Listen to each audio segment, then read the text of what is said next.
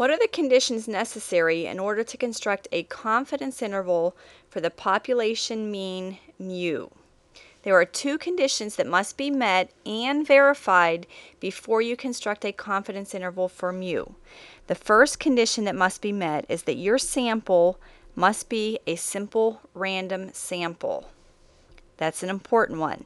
The second condition that you must check is that x bar is either normally distributed or x bar is approximately normally distributed.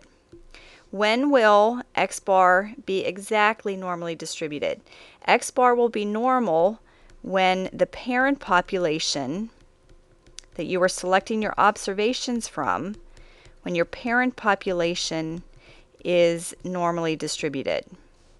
When do you know that x bar is approximately normal, even if you don't know what the parent population distribution is? x bar will be approximately normally distributed when n is greater than 30. How do we know this?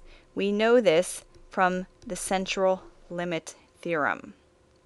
Now, let's suppose that your sample, your sample size is 20.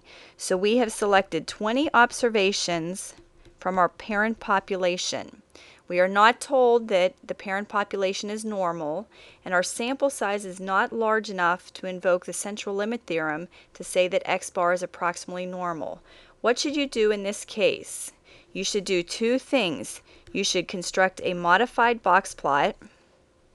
What are you going to look for in the modified box plot?